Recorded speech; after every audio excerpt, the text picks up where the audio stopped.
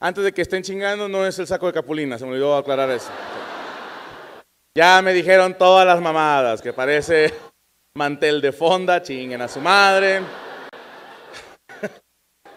Pero no es plastificado, que es muy de mantelito, va, que si le cae salsa nada más con un trapo húmedo y una servilleta ya chingaste, no. me estuvieron tiroteando por un video. Eh, fíjate que el, el, que quiere hacerla de pedo, la hace de pedo. Yo hice un video enumerando las ventajas de ser mujer. Y empezó la banda a ponerme, es que ¿por qué siempre dices que la mujer es menos? Dije, el, el puto video se llama Ventajas. ¡Ah! Sí creo de corazón que la mujer tiene bien medido al hombre. Yo creo que todas las mujeres saben, saben cómo chingarte, ¿no? Tienen, conocen tu botón de autodestrucción. Y como en las películas de vaqueros traigo esta arma y no me da miedo usarla, así, ellas están listas de que, a ver, pásate de chorizo y vas a ver, güey. Creo yo que la mujer es un ser de amor, es más probable que una mujer perdone a una chingadera a un hombre, pero te perdona una. Una vez que pasó esa una, empieza un conteo regresivo que si lo vuelves a hacer, güey. O sea, te puede perdonar lo que sea, te puede perdonar que digas una pendejada delante de ella, la perdona. Te puede perdonar que te pongas hasta el huevo en una peda familiar e insultes a su mamá y a su papá. ¿Quién no lo ha hecho? No? y lo dice sobrio, chingate esa. El mío tiene un nivel ahí de gángster más alto. Te, te perdonan la primera, la bronca es que no llegues a esa segunda, porque si te pasas de la segunda, empiezan te empiezan a programar, güey. Te empiezan a decir, ándale puto, vas a ver. Y empieza a dominarte en temas que no, no ni siquiera te das cuenta, güey. El primer, por así decirlo, el primer grado de dominación, güey, es cuando ella te dice, ya nos vamos, en una fiesta. ¿Ok? Todos conocemos ese cabrón que ya lo tiene en nivel 1, güey. Que estás en la peda toda madre y el vato está platicando y está como pitcher viendo que no lo roben segunda, güey. Porque sabe que la vieja nada más pasa así de lejos y le hace. Esta cara es, ya me quiero ir. Empieza a despedir, ¿ok? O sea, es como a nosotros que nos prenden un foco, te dicen, empieza a preparar el cierre del show, así tu vieja te sonríe, como que ya estuvo, ya. Suelta su última mamada y vámonos. ¿eh? Tú te haces pendejo, sigues cotorreando y te pregunta, ¿qué onda? ¿Cómo andas? Yo tengo una regla en ese sentido. Yo me doy cuenta cuando un amigo está borracho, dependiendo de qué me contesta. Si le pregunto a un amigo, ¿cómo andas? Me dice, no está la madre, güey. Anda bien, anda bien el mamón. Uh, pregunta a alguien, ¿cómo andas? Y dice, bien. Bien, güey, o sea, ambientado todavía capto todo el pedo, ¿no? Cuando llegas a ese punto y tu vieja dice, ya nos vamos, es impresionante cómo nada más te tocan por la espalda, güey. Pasa por atrás de ti, te toca. Y el hombre sometido entiende que quiere decir, vámonos. En plena plática, güey. No, hombre, raza, llegamos con la pinche vieja y bueno, nos vemos, cabrones, cuídense mucho, güey. Cabrón. Ni siquiera terminó la historia, entendió que es vámonos ya. Es triste que hay mujeres que pendejean al marido, las has visto, qué tristeza, güey. O sea, sí, a mí, a mí me pendejean, pero en privado. Yo le he decidido así de que, sí, no hay pedo, dime lo que quieras, pero que no haya banda. Ya, delante de la gente le voy a pegar al mamón, te voy a decir, ¿qué, güey? Pero ya mi vieja y yo sabemos que llegando a la casa voy a pagar por esa, ¿no? Pero hay... ya sabes, vas en el carro y vas culo, así. Aquí ya no viene nadie. Te haces pendejo, le subes al radio, ¿no? Así como, oh, esta rola es la mamada. Y te viejas, no te veo, chinga tu madre. Llegando a la casa, puto, ahorita no.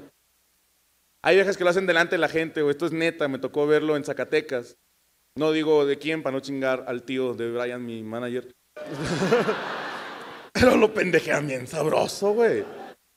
Porque llegamos a Zacatecas y estaban a 18 grados. Y había gente que traía chamarra. Y me llamó la atención. Dije, ah, chinga. Dije, pues aquí no hace tanto frío. Porque Cristian y yo traíamos playera de manga corta. 18 grados es cómodo, es agradable. Pero no, es que aquí no hace tanto frío. Y este señor, que no es el tío de mi manager,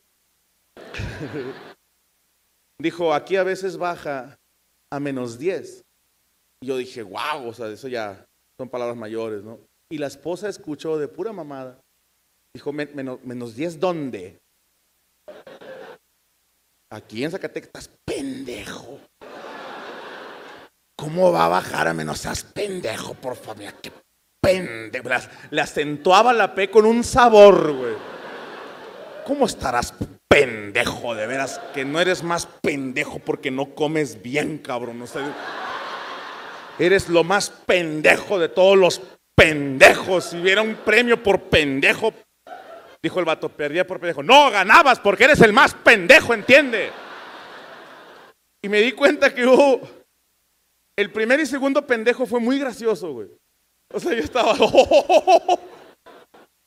El cuarto y quinto fue muy incómodo, güey. O sea, ya me dolía yo, ay, con su pinche madre. Pero ella no se rajó, siguió adelante con el show. Porque te digo una cosa, el séptimo y octavo pendejos fueron de, reventar. O sea, la gente decía, huevo, dilo otra vez, güey. me caga esos pobres que los tienen sometidos. Gente que la esposa en una fiesta les dice, cuéntales este, de las vacaciones, lo que nos pasó. Y el esposo va. ¿De qué? ¿De qué fuimos? ¿A dónde fuimos? ¿A Cancún? Cuéntales. Pues cuéntales tú, mi amor. O sea, cuéntales, tú lo cuentas mejor, cuéntales. Está el esposo, bueno, queríamos ir de vacaciones a Cancún. No, no, no, no. Queríamos ir de vacaciones. Yo dije Cancún, él dijo Acapulco. Cuéntales bien, ¿cómo era? Dice, bueno, yo dije Acapulco, ella dijo Cancún, entonces dije, bueno, vamos a Cancún. No, no, no, no. Te, te, acercaste y viste hoteles en Cancún y en Acapulco y estabas de pinche necio, ¿sí o no? Y ya uno como espectador dice, señora, cuéntelo usted, chingue su madre, o sea. Cuéntelo usted, este bueno se lo sabe, está bien pendejo. Con acento en la P.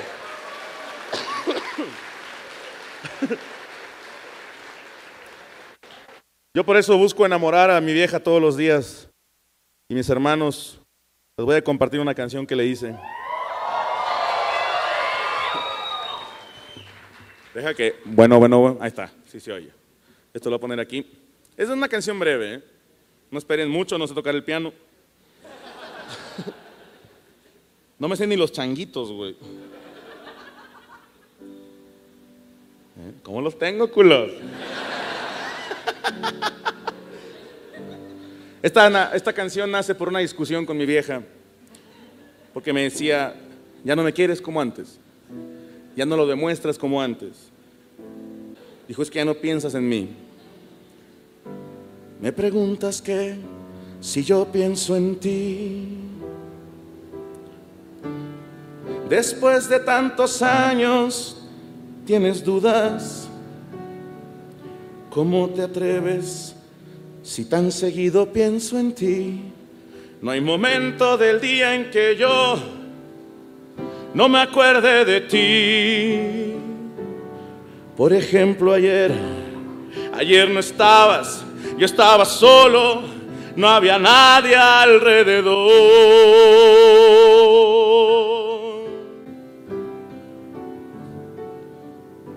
Ayer me la jalé pensando en ti. Ayer me la jalé pensando en ti. Los diez segundos mejores de mi vida. No hubo falta material, audiovisual. Tu recuerdo me ayudó a llegar porque ayer otra vez pensando en ti me la jalé.